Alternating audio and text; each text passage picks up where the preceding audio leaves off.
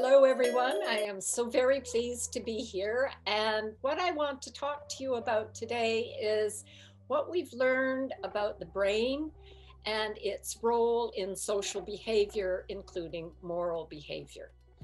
And I'm going to start with uh, a comment made by the great uh, biologist Ed Wilson in the 1975.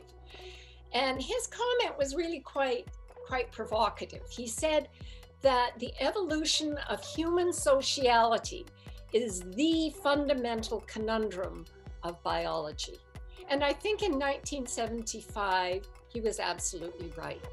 And what is kind of remarkable is that in the time between then and now, a tremendous amount has been learned about social behavior in humans, but also in all mammals and in birds. Now, let me start to talk about value because, of course, social behavior involves values. But the deepest level of value has to do with the emotional and motivational systems for survival of well being of oneself. We are organized to see to our own food and water and safety and warmth. And the brain ensures that we do that. And by and large, um, with regard to most animals that are not mammals or birds, uh, they are organized essentially to see to their own welfare. And so it had seemed, especially in the 1970s and, and the two decades following, it had seemed to many biologists to be quite impossible to explain the moral behavior that we see in humans. If we're all organized to see to our own welfare, how can we possibly uh, be able to sacrifice some of our interests, some of our own concerns for the sake of another. And biologists, the more they thought about this, they thought, well, if there were a gene that appeared in some individual that made that individual altruistic, the others would quickly take advantage of that individual and the gene would not be passed on to the next generation. And so biologists, and Richard Dawkins was a good case in point, many biologists came to the conclusion that we are born entirely selfish and that we have to learn, sometimes have to learn through punishment in order to be decent, moral human beings. And this prevailed as the kind of understanding of the nature of moral behavior as we see it in humans for a long time. Now, it's very interesting to me that Darwin had a completely different take on the situation. In his book, 1871, The Descent of Man, Darwin raised the question where does our moral sense or conscience come from? And he suggested that there were really three sources. The first, he said, were social instincts. We want to be social, we are disposed to be social. Secondly, we acquire habits and skills for getting along in a social context. And third, we have the capacity for problem solving, including problem solving in a social situation. And interestingly to me, this was also the view of Aristotle, but not Plato, of Confucius, and of the two great Scots uh, philosophers, David Hume and Adam Smith. One of the things that motivated Darwin and has motivated uh, some field biologists is the observation that if you really watch how, for example, chimpanzees or wolves or others behave, what you see is that there is consolation after a mishap or a problem, that there is reconciliation after conflict, that there is often pro social choice, meaning that there is food sharing, for example, or cooperation. There is many instances of orphan adoption, even amongst chimpanzees, male chimpanzees who have adopted unrelated infants whose mothers were killed or died. We also see, if we look in non human animals, we see behavior that shows that there is empathy and caring. We see self control, cooperation, reasoning, third party punishment, and so forth. And this law has suggested, this kind of behavior has suggested, for example, to Frans de Waal, who is a, a, a tremendous ethologist, that social behavior is really widespread amongst mammals. It's also important as we think about the origins of social behavior and trying to address Ed Wilson's question that we consider the anthropological data involving the numbers of uh, human human-like species that lived on the planet and that clearly lived in groups and had some form of cooperation because they were able to travel long distances and to migrate. They made stone tools, they had art. And Homo erectus, who was around for about 1.8 million years, uh, had started out with a brain that was rather small, about 800 cc's. Yours is about 1500 cc's.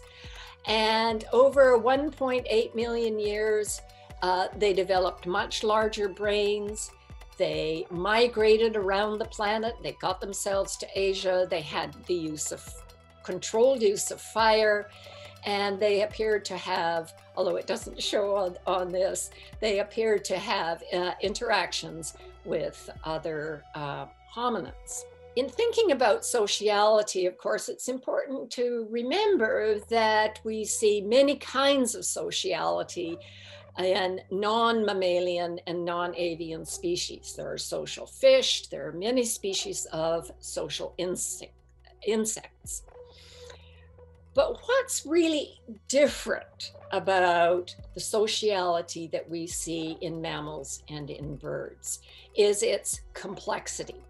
Is the fact that although there are genes that almost certainly play a role in sociality in, in um, mammals and birds, there is also room for a tremendous amount of learning and a tremendous amount of problem solving which seems not to be quite the way it works in uh, bees and in fish. Something rather remarkable happened in biology about 200 million years ago that helps us explain the kind of sociality we see in mammals and birds. And what happened was the emergence of animals who are warm blooded, who are endotherms. They can create their own warmth. And this, as you know, was a tremendous advantage because it meant that although these animals were very small, the, these early uh, warm-blooded creatures were small, they could forage at night when all of the cold-blooded animals had to be sleeping. And in fact, they could forage on these snoozing cold-blooded animals. So it was a tremendous advantage. However, there was a cost. And the cost is very straightforward. Gram for gram, a warm blooded animal has to eat 10 times as much as a cold blooded animal. And that is a huge ecological constraint on the survival of a warm blooded animal. Now, we're not sure about many of the changes that led to uh, an increased capacity in the brain for warm blooded animals. But we do know the end result, and the end result is the emergence of cortex. And cortex is shown here in this slide on the left. You can see the sort of purple outline. Cortex is uh, a kind of like a rind on the outside of the brain. The white matter are the axons leaving and entering the cortex and going to other structures. On the right hand side, what you can see is the really quite stunning organization that we see in cortex and that we don't really see anywhere else. It has something like six, depending on you how you count, six well-defined layers and certain kinds of inputs come into some layers and leave by others and so forth. And we can see that very characteristic kinds of organization exist in cortex. So, what allowed endotherms to survive in the long run was the emergence of cortex. So, what we know about cortex in mammals is that in newborns, it's very, very immature. And that over time, the neurons, by learning and interacting with their environment, both the physical and the social environment, the neurons become much more complex. They sprout, they interconnect, and they develop very complex circuitry. So you can contrast the complexity. These are not extra neurons, these are just the same number of neurons, but with greater branching of both the dendrites, the trees, and the axons, which project elsewhere. By two years old, you can see that there is already a tremendous amount of structure. And in the adult, some of that structure, for efficiency reasons, gets pruned back to make the whole business a lot smoother. All of this involves learning, interacting with the external world. So that means that it's not directly uh, determined by the genes, but by this wonderful interaction between gene expression and learning. So the ev evolution of endotherms involves both this massive increase in the learning capacity, but then there is a cost. And the cost is huge. The cost is this the babies have to be born very immature. Why? Because the whole idea of cortex is that it learns about the environment, whatever it happens to be. Whether it's in one kind of condition or another, it tunes itself up to the environment. And so you can contrast the independence of, say, a turtle emerging from its egg, which scrambles out and goes down to the water and swims off and begins to feed, with the great dependence of all baby mammals on care. So learning capacity goes up, but neonatal independence goes down. Now, one way of looking at all of this is that in mammals and birds, what we're really seeing is an expansion of the domain where the brain man manages well-being. So we saw initially that the brain is organized to care about me and my, uh, about me. But with mammals, we see that it's organized to care about me and mine me, and my babies. Now, how does that happen? So here what we see is a human and a human with a highly dependent in, infant. And one of the things that happens in the case of all mother-infant interactions is this. There is a flood of, an, of a neurochemical called oxytocin in the brain of the mother and in the brain of the baby that makes them bind to each other. It's as though for the mother, it's kind of like the baby becomes an extension of herself, me and mine. So, whereas we saw that um, for a cold blooded animal cares essentially about itself, warm blooded animals care about me and mine. Now, oxytocin is critical for this. Uh, it's also critical for the birth of, uh, of mammalian babies. And I want to tell you now a little bit more about what we know about oxytocin and its role in the brain.